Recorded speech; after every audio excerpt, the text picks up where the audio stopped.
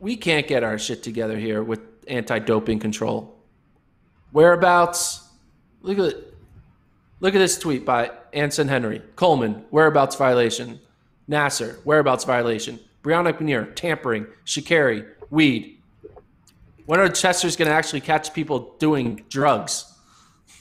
Because all the people we're banning and, and suspending are for technicalities and, oh, you didn't do it right. And rules are the rules. It's like, Coleman, rules are the rules. You shouldn't have gone. You should have.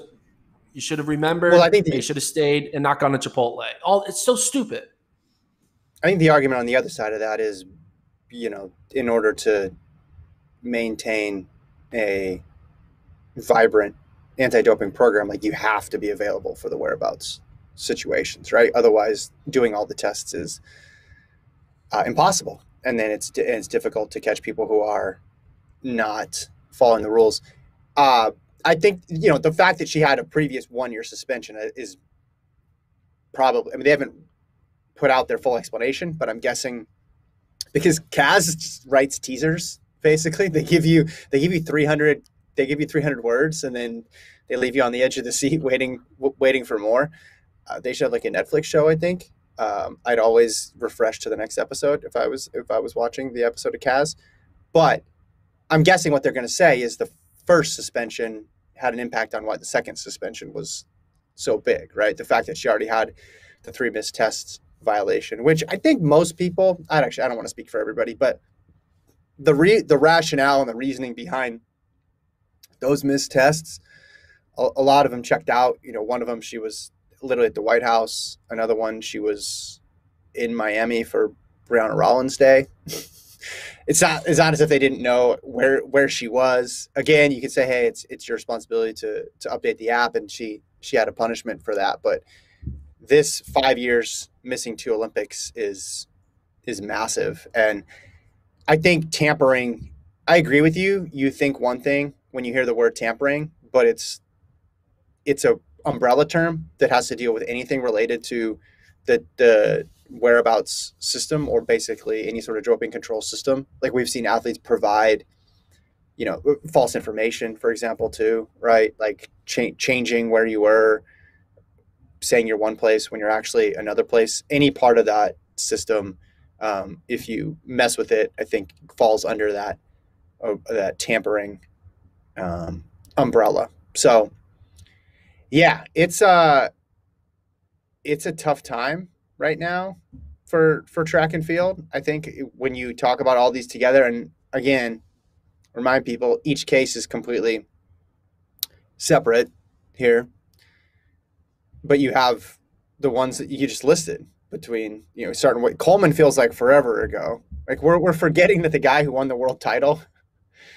and is has the fastest had the fastest hundred uh, is out. like we forgot about that almost because there's been that, there's been Houlihan, there's been Naser, McNeal, and now Richardson. And again, uh, I mean that was when was that? We did an episode with Coleman. That was yeah, less 2020. That was just, yeah, well, just a little over a year ago. But I mean, if you yeah. figured, you know, 2020 was a wash in terms of competition, that was just that was that was not not at all too long ago. So th- they're all all these are stacking one on top of the other on top of the other. And I know last year was the year of the whereabouts failure, not just in the United States, but but everywhere. Um, but to see the impact it's having, obviously moving forward, um, folks are going to have to. I don't know. There needs to either be more education on on this, um, or we're going to see this happen more and more. I believe. Yeah. I just think anti doping needs to catch dopers, all right? Not rule violators. They need to be, it's not the anti not doing the rule, anti rule breaker association. It's the anti doping, whatever they are. And I get it. You need to have rules in order to, in place to catch the dopers, but like if most of it's like you know it's like the cop who is getting all the people with the speeding ticket trap yeah technically you're hitting your quota of your speeding tickets but are you really policing the streets by getting a bunch of speeding tickets Are you really solving crime and helping the people, or are you just getting people rolling through a red light and be like, boom, ticket, boom, ticket, boom, ticket? And I just feel like that's what they're doing. They're not actually catching the real crimes. They're catching the people who are rolling a red light or going 20 miles per hour over the speed limit. It's mm-hmm. it's it's it's just bummer. Oh, yeah. And to go back to and Richardson again, I want to separate Richardson's case from these other cases because whereabouts failures are not the same as a marijuana positive.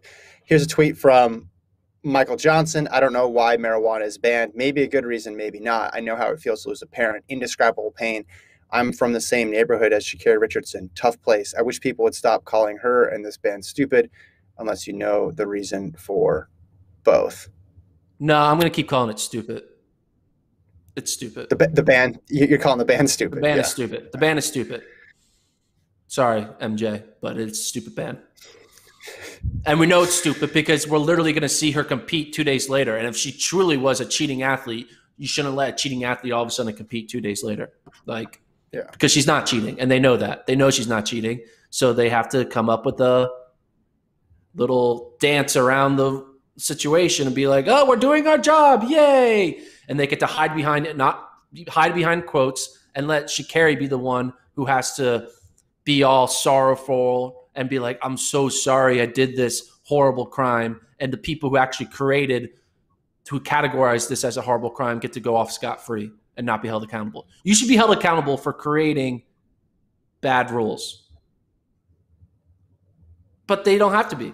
And I think the only way they will be held accountable is if you need like a big rising of like other athletes to be like no, we're not we, you need you need governing bodies to be like, "Hey, USADA, we're not going to work with you unless you take this off of the ban list."